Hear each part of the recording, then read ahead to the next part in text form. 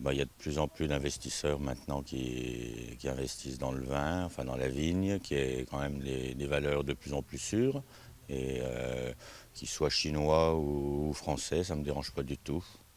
C'est quelqu'un qui aime beaucoup le vin, qui est, un très grand spécialiste des, vins, surtout de Bourgogne. Euh, c'est pour lui un grand plaisir d'acheter une petite propriété sur Gevrey.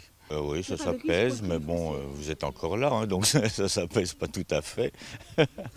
mais bon, effectivement, le, foncier euh, augmente et le problème après, c'est les droits de succession, quoi. Donc on attend nos politiques là-dessus, hein, avec un, beau taux d'alcool.